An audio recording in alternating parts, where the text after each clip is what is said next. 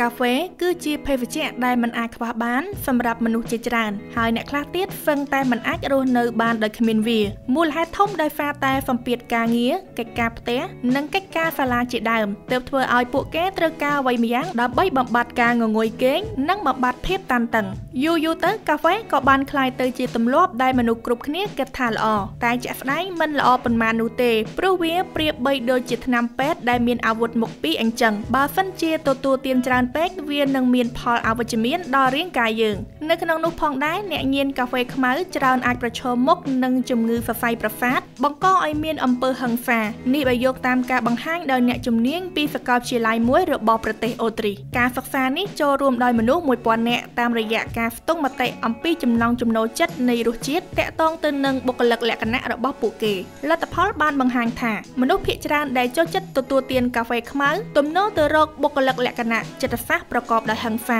នេះបានន័យថាទំនាក់ទំនងរវាងអាហារឬភេសជ្ជៈដែលមានរសជាតិល្វីងចត់មានទំនោរអវិជ្ជមានអាចคล้ายទៅជាអាក្រក់ទៅអាក្រក់ទៅក្នុងរយៈពេលយូរ តែមិនមែនមនុស្សដែលមានជំងឺសរសៃប្រសាទទាំងអស់សុទ្ធតែទទួលទានកាហ្វេខ្មៅនោះទេតែអ្នកដែលចូលចិត្តទទួលទានកាហ្វេខ្មៅអាចមានហានិភ័យនៃការទទួលរងជំងឺសរសៃប្រសាទនិងជំងឺផ្លូវចិត្តនានាដូច្នេះបើសិនជាអ្នកញៀនទទួលទានកាហ្វេខ្មៅសុទ្ធអ្នកអាចសាកល្បងជំនួសដោយកាហ្វេទឹកដោះគោបានព្រោះការសិក្សានេះក៏បានបង្ហាញឲ្យដឹងថាអ្នកដែលនិយមទទួលទានកាហ្វេលាយនឹងទឹកដោះគោមានទំនោរបុគ្គលិកលក្ខណៈល្អនោះមានន័យថាពួកគេជាបុគ្គលដែលមានចំណេះដឹងនិងចេះយោគយល់អ្នកដទៃ